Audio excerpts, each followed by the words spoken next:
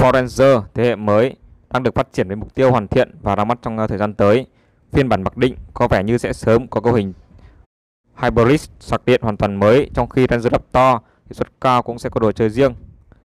Theo chúng tôi được biết, thì ờ, Ford Ranger Raptor mới sẽ có bản động cơ V6 cho thị trường Mỹ, sử dụng nguyên mẫu là 2.7L ờ, EcoBoost, đi kèm với hộp số tự động 10 cấp.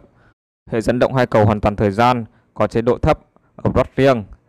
Tổng công suất toàn hệ thống được ờ, cho là ở mức 325 mã lực và mô men xoắn ấn tượng ở ngưỡng 542 Nm.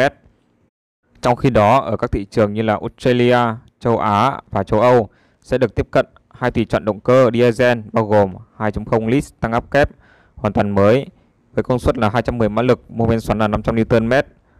Một số khu vực có nhu cầu sử dụng cao hơn sẽ được tiếp cận dòng V6 3.0 lít mượn từ Ford F150 với công suất là 255 mã lực, mô men xoắn là 600 Nm. Cả hai động cơ này đồng hành cùng hộp số tự động 10 cấp nhưng hệ thống dẫn động có phần khác sau khi bản 2.0L dùng AVKD thích ứng, còn bản 3.0L là AVKD toàn thời gian. Về nội thất thì ờ, chiếc Ford Ranger Raptor thế hệ mới được dự đoán sẽ sang trọng hơn và công nghệ hiện đại với số tiền được người dùng bỏ ra cũng là lớn hơn rất là nhiều. Về phần ờ, Ranger mặc định thì mẫu xe này sẽ sớm có bản hybrid sạc điện kết hợp với động cơ 2.3 lít tăng áp và motor điện.